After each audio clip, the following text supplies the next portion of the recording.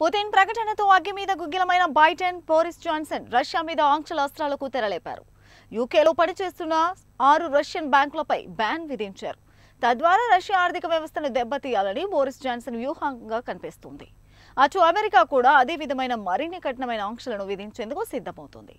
ఏ క్షణమైన బైడెన్ ప్రకటన వెలువడే ఛాన్స్ కనిపిస్తోంది. పుతిన్ అనుకున్నది చేసేశాడు.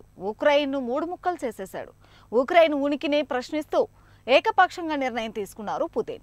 ఉక్రెయిన్లో రెండు వేర్పాటువాద ప్రాంతాలను ప్రత్యేక దేశాలుగా గుర్తిస్తూ ప్రకటన చేసింది రష్యా. పుతిన్ అనూహ్యంగా తీసుకున్న నిర్ణయంతో ఉక్రెయిన్కు మెయిన్ సపోర్టుగా ఉంటూ వస్తున్న అమెరికా కంగు తిన్నది.